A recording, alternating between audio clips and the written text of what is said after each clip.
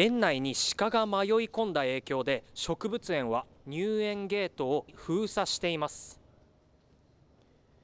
今日臨時休園した北大植物園。植物園によるとおとといからオスの鹿1頭を園内で確認していましたが昨日夜の時点では一度園を出ていたといいます。こちらは視聴者の方から寄せられた映像です。午前2時ごろ植物園の方向から道路を渡るオスの鹿が目撃されていました。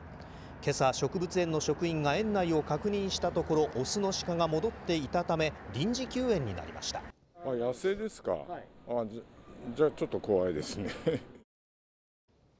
今も鹿は園内にいて北大植物園は明日朝改めて鹿がいるかどうかを確認して開園の判断をすることにしています